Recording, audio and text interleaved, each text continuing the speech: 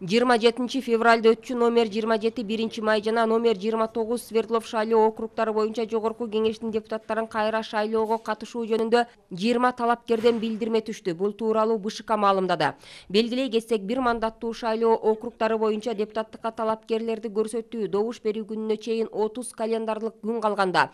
Башкача айтканда жыйырма жетинчи январда саат он сегиз ноль нөлдө аяктайт. Өзүн өзү көрсөтүү тартибинде бир мандаттуу шайлоо округу боюнча депутаттыкка талапкерлерди көрсөтүү талапкерлердин өзүнүн ушул шайлоо округу боюнча талапкерлигин добушка коюу ниети жөнүндө бшкга арыз берүү жолу менен жүргүзүлөт.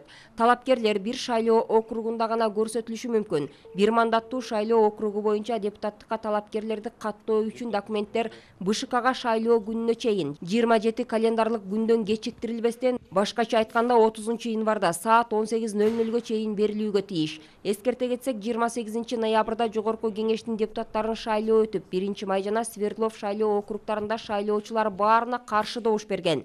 Мындан улам кайра шайлоо жыйырма жетинчи дайындалды.